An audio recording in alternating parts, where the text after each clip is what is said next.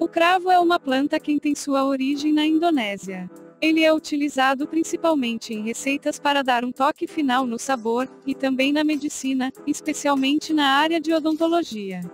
No vídeo de hoje, vamos conhecer um pouco mais sobre o cravo da Índia, e saber mais sobre seus benefícios. Antes de saber mais, se inscreva no nosso canal e já deixe o like no vídeo. O cravo ajuda a aliviar dor de cabeça, cólicas menstruais, inflamação na garganta, dor de dente e reduz a febre. Ele também é bastante utilizado na área de odontologia, pois as suas flores possuem substâncias que combatem diversas bactérias comuns de serem encontradas na boca.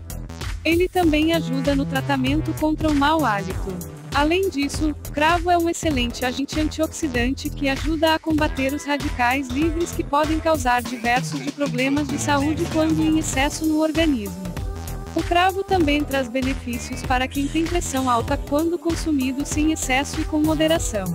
Uma das melhores vantagens de inserir o cravo da Índia na dieta de hipertensos é que ele reduz as taxas do LDL, também conhecido como colesterol ruim.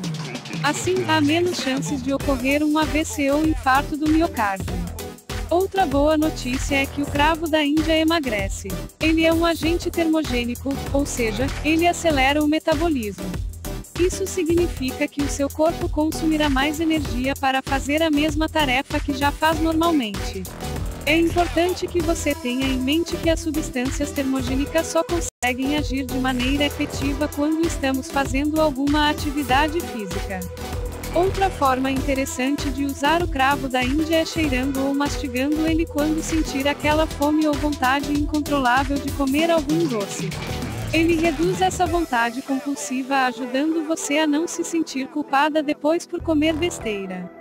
Ele pode ser utilizado em receitas, sendo uma deles o chá de cravo tendo diversos resultados positivos quando o assunto é emagrecer. O cravo não deve ser consumido por gestante, nem pessoas com problemas cardíacos. Compartilhe essas informações.